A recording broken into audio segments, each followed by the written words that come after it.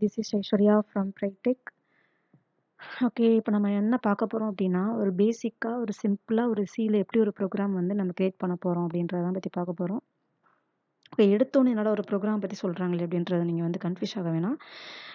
இது என்ன அப்படின்னா ஒரு சிம்பிளாக ஒரு ப்ரோக்ராம் வந்து டெவலப் பண்ணுறதுக்கு வந்து பேசிக் திங்ஸ் நம்ம கண்டிப்பாக தெரிஞ்சிருக்கணும். அது தெரிஞ்சு அது தெரிஞ்சிருந்தால் தான் நம்ம என்ன பண்ண முடியும்? ஃபர்தராக ஒரு ப்ரோக்ராம் நம்ம கிரியேட் பண்ண முடியும்.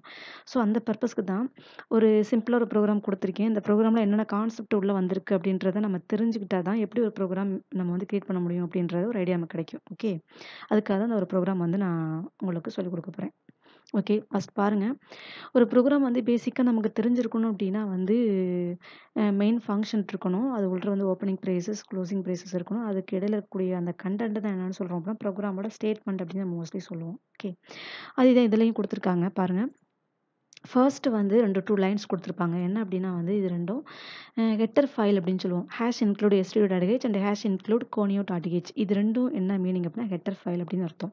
ஹெட்டர் ஃபைல்னால் என்னன்றதை ஒவ்வொரு கிளாஸஸ் வரும்போது நான் வந்து என்னன்றதை நான் எக்ஸ்பிளைன் பண்ணுறேன் ஃபஸ்ட்டு இப்போ வாட் இஸ் வாட் அப்படின்றத மட்டும் தெரிஞ்சுக்கோங்க. ஓ ப்ரோக்ராமில் இது நம்ம யூஸ் பண்ணணுமோ அப்படின்றத அதை மட்டும் மைண்ட் செட் பண்ணி வச்சுக்கோங்க ஓகேவா ஓகே அடுத்து பாருங்கள் வாய்டு மெயின் வாய்டு மெயின் அப்படின்றது ஒரு ப்ரோக்ராமில் இருக்கக்கூடிய மெயின் ஃபங்க்ஷன் ஒரு ப்ரோக்ராமை நான் வந்து நான் ரன் பண்ணணும் அப்படின்னா மெயின் ஃபங்க்ஷன் இல்லாமல் ரன் பண்ண முடியாது. ஸோ மெயின் ஃபங்க்ஷன் ரொம்ப ரொம்ப மஸ்ட் சரிங்களா? ஸோ இதான் மெயின் அப்படிங்கிறது கொடுத்துருக்காங்க. ஸோ அது உள்ள பாருங்கள் ஓப்பனிங் ப்ரைஸ் ஒரு ஓப்பனிங் ப்ரைஸ் இருந்தது அப்படின்னா கண்டிப்பாக ஒரு க்ளோசிங் ப்ரைஸ் இருக்கணும். இது ரூல் சரிங்களா? ஒரு ஓப்பனிங் ப்ரைஸை போட்டுட்டு ஒரு க்ளோசிங் ப்ரைஸ் போடாமல் விட்டுட்டீங்க அப்படின்னா நமக்கு வந்து நிறைய எரர்ஸ் வர ஆரம்பிச்சிரும்.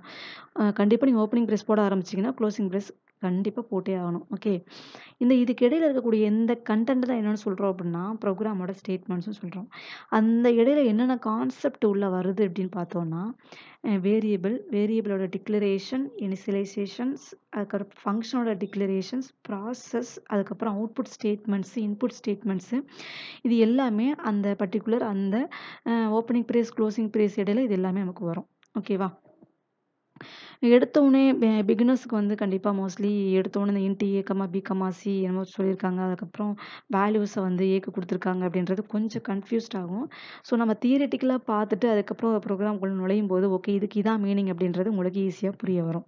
ஓகேவா ஃபஸ்ட்டு வந்து ஒரு ப்ரோக்ராமை ஈஸியாக மேக் பண்ணணும் அப்படின்னா ஹெட்டர் ஃபைல் இருக்கணும் அதை ஃபாலோ பண்ணி மெயின் ஃபங்க்ஷன் இருக்கணும் அதை ஃபாலோ பண்ணி ஓப்பனிங் ப்ரைஸ் இருக்கணும். அதை அந்த ஓப்பனிங் ப்ரைஸஸ்க்குள்ளே தான் நீ என்ன மாதிரியான ப்ரோக்ராம் க்ரியேட் பண்ண போகிறீங்களோ அதுக்கேற்ற மாதிரி கண்டென்ட்டை உள்ளே கொடுத்துக்கணும். லாஸ்ட் என்ன அப்படின்னா ஓப்பனிங் ப்ரைஸ் போட்டதுக்கு ஏற்ற மாதிரி க்ளோசிங் ப்ரைஸை போட்டு ப்ரோக்ராமை என் பண்ணணும். ஓகே இதுதான் ப்ரொசீஜர் ஓகே இந்த கான்செப்டுக்கு ஏற்ற மாதிரி என்னென்ன மாதிரியான தியரி கான்செப்ட் உள்ளே வருது அப்படின்றத அடுத்த செஷனில் உங்களுக்கு கிளியராக எக்ஸ்பிளைன் பண்ணுறேன் okay if you want to learn the language please subscribe my channel thank you thank you for வாட்சிங்